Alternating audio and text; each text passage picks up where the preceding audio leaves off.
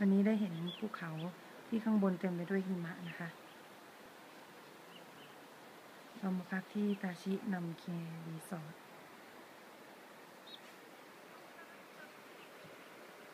ติดริมแม่น้ำเลย แต่ว่าห้องเราเป็น junior suite นะคะมันก็เลยได้ขึ้นมาอยู่สูงนิดนึง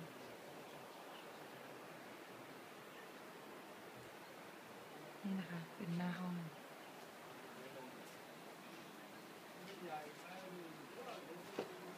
มีระเบียงนั่งเล่น ดูวิวแม่น้ำแล้วก็ภูเขา เข้ามาดูในห้อง มีฮีเตอร์ด้วย ห้องรับแขก แล้วก็สมบัติที่ลกของเราเองนะคะ ไม่ใช่ของโรงแรม อันนี้ก็จะมีตู้เย็นแล้วก็ซิงค์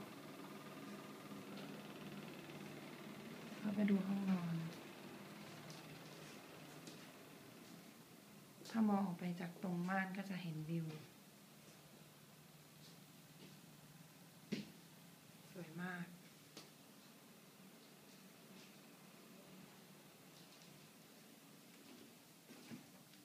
ห้องน้ำห้องแต่งตัว